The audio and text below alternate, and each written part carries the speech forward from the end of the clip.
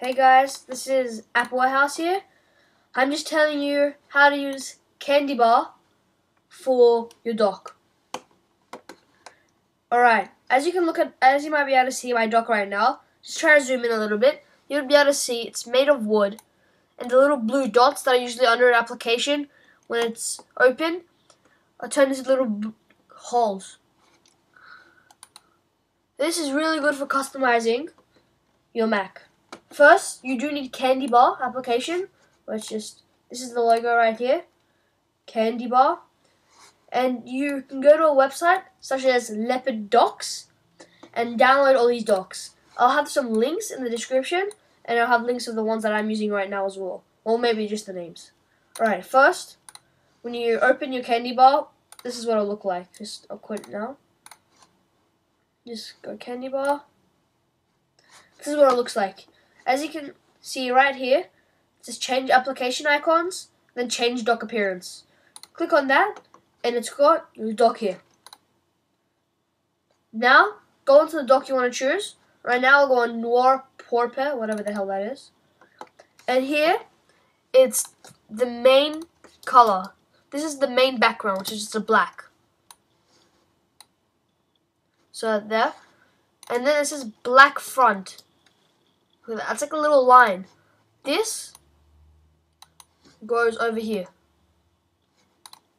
Now says the indicator. The indicator, I'll just go indicator large. This mine is quite large. You just drag it in all the holes.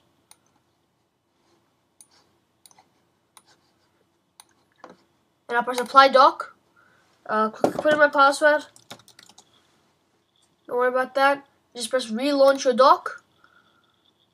And as you can see right now, it's black and it's got these little blue lights, blue lights underneath.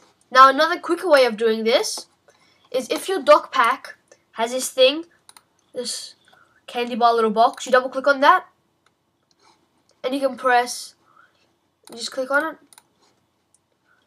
and you can usually apply it from there. I just get rid of it. Most docks don't really have that though. Alright, let's give it let's go through another demonstration. But first, let's restore our dock. I don't like these docks, this dock, so I'm just gonna restore it back to its factory settings.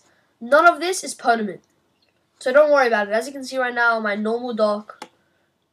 Now let's go to the dock that I was using before was Tron dock. This one has a few more things to it. This scurv, the thing that says scurv, is what your main background is. I want my main background to be like that since I'm using, I have a lot, the largest possible dock, as you can, largest possible dock.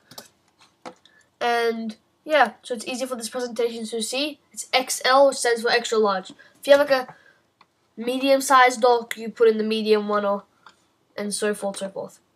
Alright, now this is front line, is that little edge again that I was telling you about. Just drag that there.